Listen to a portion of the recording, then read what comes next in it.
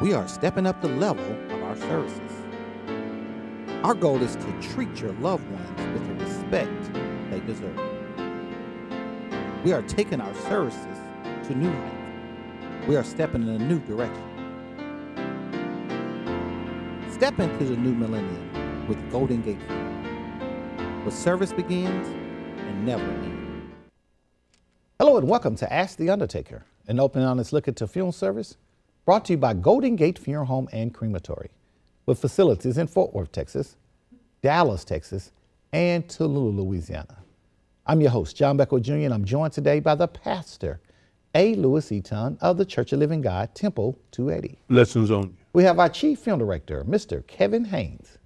Hello, everyone. We have our sister and Chief Financial Officer, Miss Carolyn Haynes. Hello, everybody. We have the pastor, M.T. Body Jr. of the St. John Baptist Church of Hillsboro, Texas. Praise the Lord, everyone. All right, today we come from Ecclesiastes, the third chapter and the eighth verse.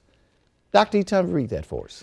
The Word of God says, a time to love and a time to hate, a time of war and a time of peace. All right, today we're going to talk about family feuds. Two things, Carolyn, they say they cause family feuds are probably the two most popular things that mm-hmm. cause family feuds are funeral services as well as long-term care services. Well, let's talk a little bit about the funeral service part of it. Family feuds and funeral services. Those two things shouldn't go together. Most definitely, John, but unfortunately, we see that way too often. Um, we tell people every week on this show, you put things in order so you can avoid these family feuds. But families come in, and of course, they're in different stages of grief. So someone is in denial and someone is angry. And then when those two mix together, those family feuds occur. Pastor Eaton, you read the scripture. There's a time for everything. Yes. Funeral services and feuds, Not those are not the same times. No, no, that's, that's not time for that to happen. Okay. Uh, that's when the peace part should be there. You should And have that's some when it's time and for peace. peace and time Right. for some love. Yes. But that's not a reality, is it, Chief? No, sir. We get caught up. We are very opinionated. We have our own opinions and ideas about how things should go. And a lot of times those clash during the funeral service process. Pastor Body, losing a loved one is very devastating. We go through a lot of emotions. Carolyn uh, named some of the grieving processes, but it's so many things we go through when someone passed away. So we can see why the feud started. What can we do to avoid the feud? Well, first of all, you can come together as a family and pray together. Okay. That would help a lot, uh, and ask God to give you that peace which surpasses all understanding, and comfort their hearts. And then that would eliminate some of the tension. And then don't reflect upon the negative aspects of things in the family. Think on the positive things, and just come together, make an agreement on how we're going to handle, prepare for these funeral services. So we come together and let's pray together. Mm-hmm. A lot of time prayer just just work miracles. Oh, yeah. sometimes. we just sit down together and we bring if we invite God in. Mm-hmm. We don't have to scream His name after the Right. fact. Mm. Carolyn, it's very painful, very emotional when we lose the loved ones. Yes. We always respond to that differently. When something hurts me, Right. sometimes I scream out. Sometimes I say things I may regret. When I'm very emotional, I'm not the same person as I was when I'm not emotional. Right. Mm-hmm. So, it, does it give me an excuse to have this family feud? Most definitely not, John. There is never a time for you to feud, fight, argue, disagree with your family. And you're exactly right. All those emotions going on inside of you at one time, it's going to explode one way or the other. But we're asking you here today to put these things in order so that you can have a little control at the time that you need to walk in there and make those arrangements. Or you need to walk in and meet your family members that are coming in from out of town and get these things in order. That way, it will help the situation a little bit. And I like to say, just step back from it just a moment. Just ask them, give me just one moment, and then come back together and make those arrangements. Mm-hmm. Chief, we have to handle some affairs. We don't normally do business together. As family members, most families don't work together. They don't have to come together and make decisions. We make decisions in each our individual lives. When you add the emotions to coming together and making decisions, do you think that caused a lot of the feuds?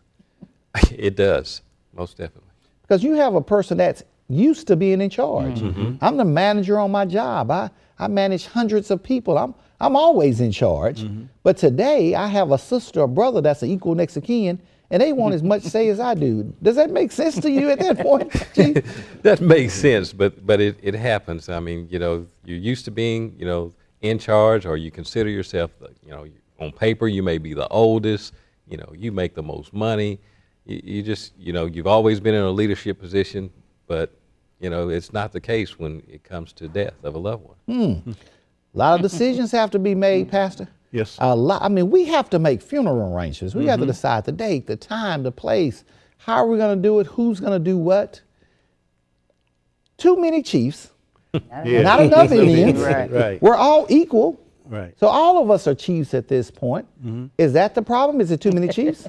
uh, I believe so. Okay. And and then what arrives that scripture that says every time I try to do good, evil is always present. So that evil in me, not in my family, but Okay. in me, jumps up and say, "Look, I'm the one that makes the most money. I'm the one in charge. I'm the oldest." You know, and really, uh, we fighting that war on the inside, and that's why it, it comes out that way. Chief, let's help the public out a little bit.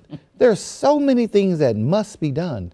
Do you think it's better if we just assign certain duties to certain people instead of having one person responsible for everything? We have to notify the friends and family. We have to get the repast together, the food. Someone has to get in touch with the pastor and the order of service. Will that help the family if we give them certain things to do? that would help. Uh, you know, if you assign different duties, and especially if even if you know if you have a family member that you think that you're going to have you know a potential problem with, give them something to do, and then that will you know Keep them out your way. keep them out of the way. Yeah. And, and Carolyn, if they're not a very responsible person, we're gonna give them something we probably can fix at the end Yeah, if you don't come through. Exactly. We'll give them the uh, duties of perhaps going over, making sure the home, when everybody comes there, is clean. Okay. Making sure that they have some things in there. Make sure we got some groceries. Do me a grocery list so we can have some things there. But you have to make sure that everybody at this time feels important. There are no big I's and little U's when you're making funeral arrangements. Mm. Again, we ask you, me, to make my own funeral arrangements, and then you know your family. So you know that one that's going to come in and want to be in charge, but you, you have everything in writing. And I love to say, you speak loudest from the grave, and they will listen to your instructions. Pastor Body, I have every right to be mad. I have every mm-hmm. right to be upset. I have every right to start a feud right now because I just lost a loved one. I'm going through an emotional state. And you want me to entertain people from out of town. You want me to talk to family members, agree with family members I normally don't agree with. How should I act when these strangers and these people coming up to me and I'm just not feeling it today? What can I do to make this a easier transition? Well, Brother John, we always have to be mindful for those of us who have professed Christ as Lord. We always have to stay humble. Even at the most difficult time in our lives, we have to remain humble. We have to be loving and respectful. Although we're hurting on the inside, although our hearts are heavy, we've got tears uh, locked in the wells of our eyes, we still have to treat people right. We have to be fair with people. Although we're hurting, we still have to maintain our walk of faith with Christ. I know it sounds hard, but that's what it's going to take. You're going to have to have that inner peace within you, especially if you know you've done right by the one who's passed away. No excuses No excuses. to act out. No. Even if you're hurting, even if you're emotional, there's no excuses not acting the way your mom and your daddy taught you How to act. We was to always act. taught to be on our best behavior at all times. at all times, even when you're going Going through. through. Carolyn, some people feud because they panic when things have to be done, hmm. especially in a short period of time. They panic on their jobs, they panic in life. Anytime there's some pressure on them, they pretty much panic. It's a lot of things have to be done in a short period of time. Who should be in charge of that? Well, again, the deceased should make that decision. Again, you see how your family acts. You know who you've given assignments to, and they were able to complete them. So you make that decision and then give it to them. Have some things that they do while you're alive. Maybe you'll have a family dinner, and then you put that person in charge of it to let everybody know this person can take care of this. And you were talking about those other family members coming in. You have someone in your family that just loves to entertain give them that assignment and make sure the details that have to be taken care of is taken care of by the person that can get it done. Chief, we have to cut out these family feuds. Mm-hmm. That's the bottom line. Let's help the public with cutting out these family feuds. We talked about two things that we know is going to that can cause these family feuds: the funeral services as well as long-term health care. So often we're angry with our sisters, our brothers, our cousins because they wasn't a part of the person's health care. Mm-hmm. Because there were so many things that need to be done, and one person felt like they did more than the other. So often that happens. Or you made a decision that we all didn't agree with. Does it make sense that all of us should make our own health decisions before we get sick? Wouldn't that cut out a lot of family feuds if the family didn't have to make the decision for you? Yes, you, you must make those uh, decisions and, uh, and assign that responsibility, you know, to someone, you know, that you know that will take care of it, and just and have a, a, a group meeting and explain that to everyone that's involved or, or potentially, you know, involved in the situation, so that there's no question. Pastor, I need to tell my family before I get on life support when I cannot speak Right. that if you should pull a plug or not.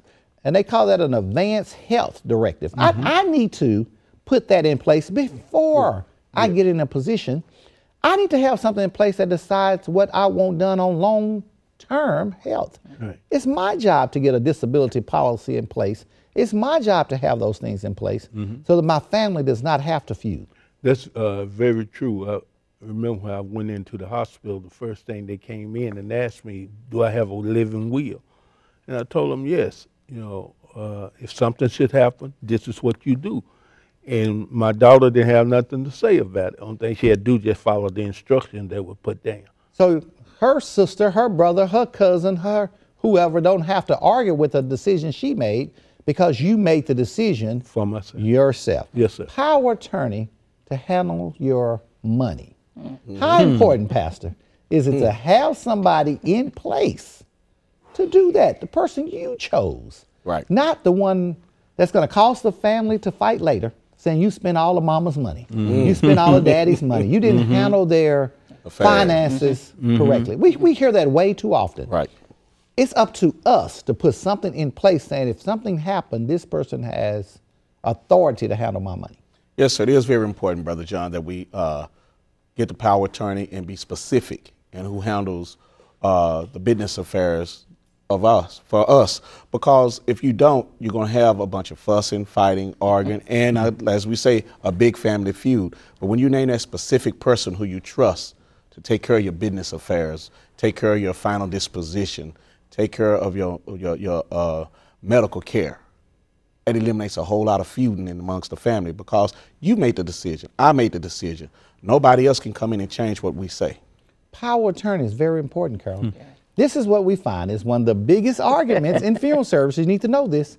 They say the power attorney passed away with, With the you. person. But Carol, there's some power attorneys, some durable power attorneys that you can put some instructions in there what to do when I pass away. Exactly. And you have to make sure, that's why we tell you, if you can afford an attorney, please see one on all of your affairs so that they can get the correct paperwork in order. We do see that way too often, and we still see way too often no one is listing about their final disposition. We have someone that will come in that's not the legal next of kin, but John told me he wanted to be cremated. I'm, we're just sorry that will not work. You must have everything in writing and be very specific, as Reverend Body stated, as to what you want and where you want everything to go. we can't get two things mixed up, uh, Chief. Mm-hmm. Power attorneys mm-hmm. and wills. Mm-hmm. These are two different things. Wills and prearranged funeral services are. these are all different things that serve different purposes. What purpose do a will serve? Now, a will will, uh, the purpose that it serves is that you are putting instructions up after death. You don't want to put any instructions that uh, pertain to your death in your will because the will is normally read after the, the burial or cremation, whichever uh, your choice is. So that's the difference. Big difference. Power mm-hmm. attorney is while I'm still alive. Mm-hmm. Inside the power attorney, give somebody control on how to handle my funeral mm-hmm. services. Wheels are read after, the funeral right. service. So don't put your instructions in your will. Will. Put that in a pre-need. Right, right. And when we pull your pre-need, it will tell us what to do for your funeral services. Right. Because what if I read that will before the funeral? What can happen, Pastor? Family feud. Family feud is back where we started. Right back from the beginning. Okay, so we And- shouldn't and- read this will before, Before. the funeral. That's that's our recommendation on Right. Ask the Undertaker. We say read that afterwards. Afterwards. Discuss who's going to get the car, the house, the clothes. That shouldn't be discussed before, a the funeral because that make people fall out before the funerals even Yes, start. Yes, yes. And uh, that let them start saying, you know, what's on their mind to the next king. Know, hmm. I've say wanting it, to, they? Yeah, I've been wanting to tell you this, but since Mama's gone, I'm going to tell you now. So Now, Pastor Body, if you want to give me something, there's things called a living trust. You mm-hmm. can give me a gift now. You can tell me as a, at a family gathering, or we can put it in writing all together, mm-hmm. so that that argument doesn't happen at my death. Right. Who I'm going to give something to is my choice. Mm-hmm. What we don't want to happen is they find out after you pass away, or some people trying to beat the folks to the house mm. because they're trying to get something before the other ones can get to it. We can't even make funeral arrangements for your loved one because you're too busy trying to grab what you think belong to you. If you're going to give me something, give it to me when. Now, Now, let me give it to you while you yet live. okay, there's a living trust Yes, sir. that I can decide who can get. Yes, it what. is. Carolyn, Yes, one sir. of the biggest arguments we see at the funeral home is that while we were here making arrangements, Joe Blow was at the house cleaning it out. Yes. Now, Carolyn, all of a sudden, we can't continue in arrangements because the too fight worried. has started. We're too worried about what they did, how they did it. They took something Mama said that I can have. But again, as John stated, we're asking you to have that family gathering and let everybody know what they're going to get, what you want them to have, where you want it to go.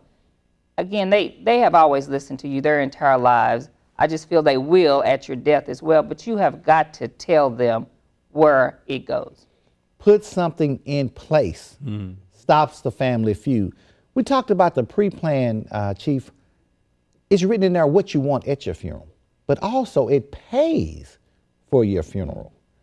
What we found in the family feud is that the person with the money is not always the next of kin.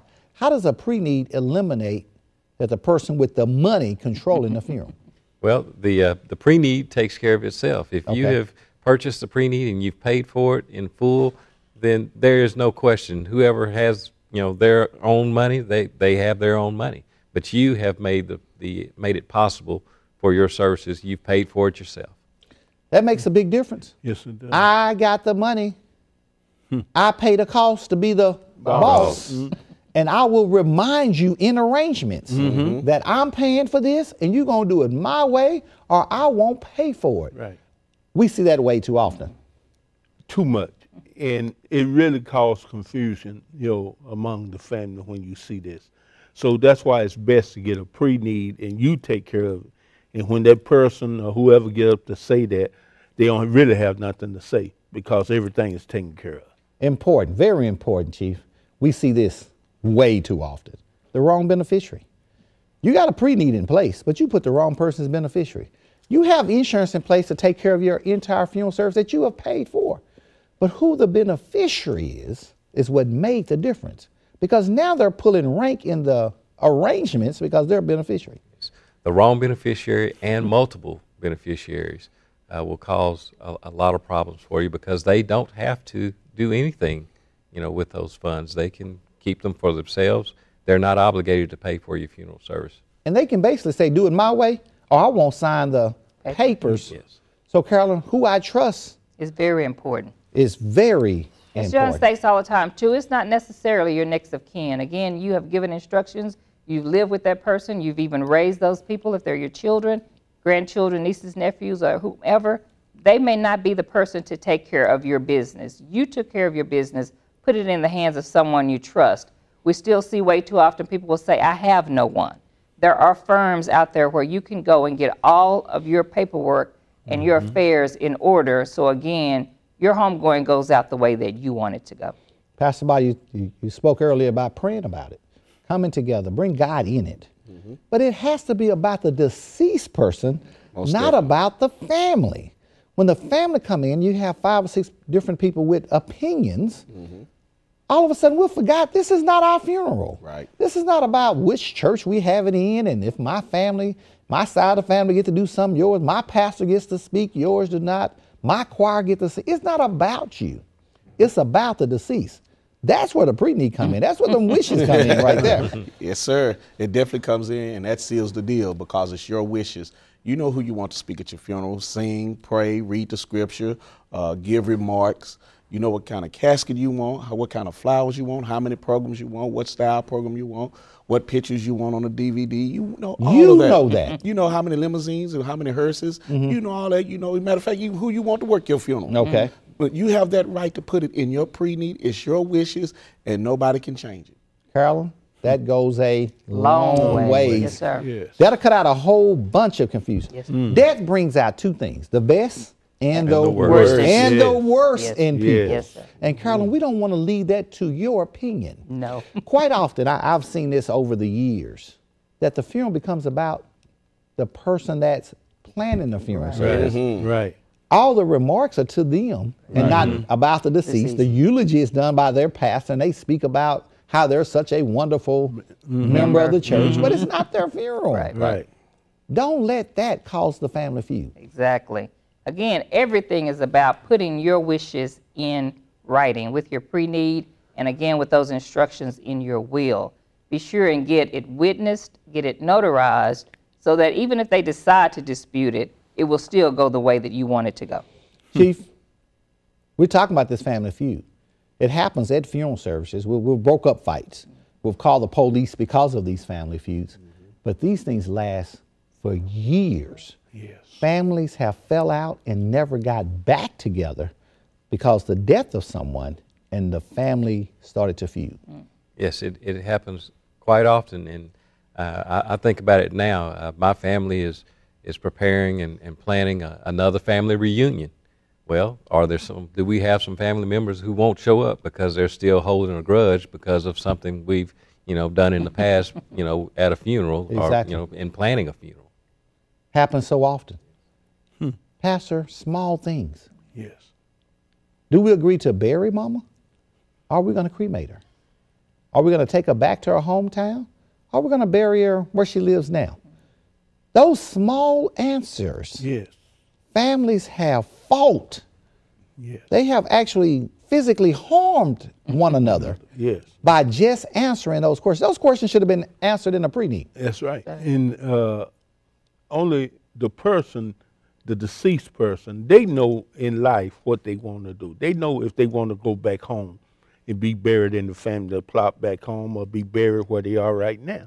So it's left up to them to put that in writing, what they want done, and leave that burden off of the family.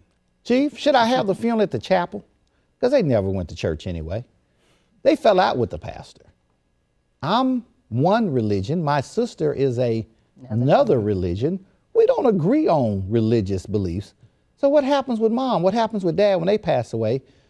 Which one takes precedence?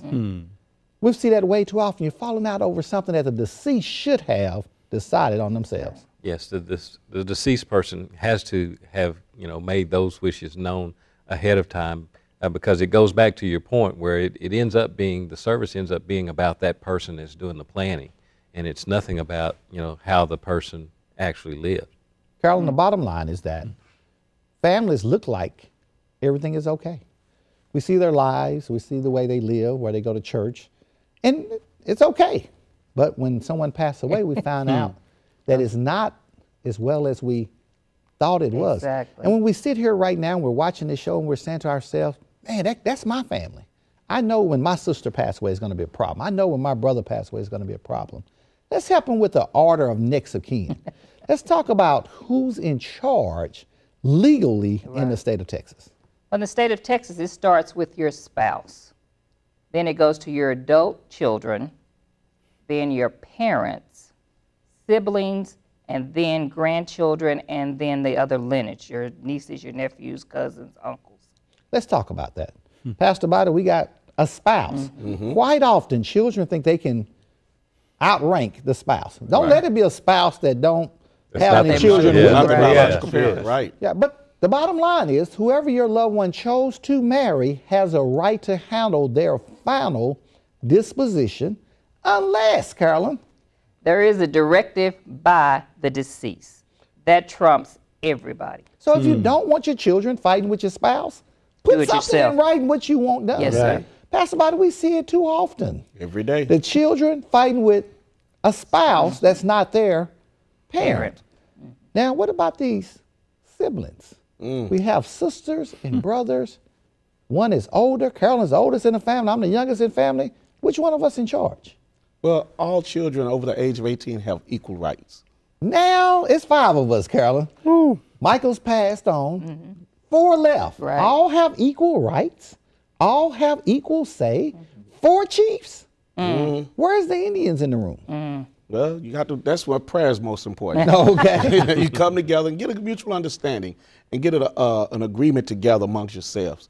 But as we say, invite God in first so He could direct you in which way you need to go with the whole situation. Carolyn, do you mm. think the chief need to be in the room as the deceased person? Most definitely. Okay. Most definitely.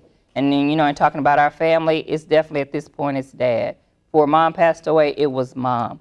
So it needs to be you. You need to speak loudest again in that room, and everybody again will follow your instructions. And if not, you've put somebody in charge to make sure your instructions go the way that you want, and the one that disagrees, that's okay. The deceased person is the chief. Yes, sir. Everybody else is the Indians. Yes. Right. You listen to what I, I want. You listen to what the deceased person Yes. wants. Golden Gate Funeral Home staff, we have been blessed. We train every week. Can we work out most resolutions if you would allow us to become that in between person? most of the time, uh, we will, uh, you know, try to help out. We we will not choose sides, but we are there to, you know, to help you work things out. And, and most of the time, it's it's handled right there. So if they have a problem, we're saying come to Golden Gate Funeral Home. Allow our funeral directors to be that in between person that's not going to be prejudiced one way or the other, and we can help you with these family feuds. And remember to watch Ask the Undertaker every Saturday night right here on channel 47.2 at 7 o'clock p.m. and every Sunday morning at 6 o'clock a.m. on channel 21. And you all know my favorite. The radio. The show. radio show every Saturday morning from 10 to 11 o'clock a.m. on Heaven 97. That's 970 a.m. on your dial. And of course, you can actually call in and ask questions. Of course, we're available 24 hours a day at GoldenGateFuneralHome.com. And Pastor Body, we have our own YouTube channel. Yes, sir. May God bless you and may God keep you is our prayer.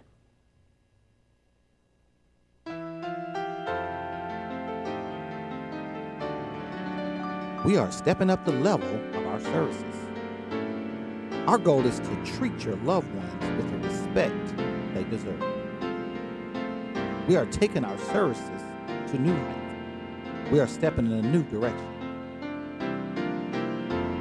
Step into the new millennium with Golden Gate where service begins and never ends.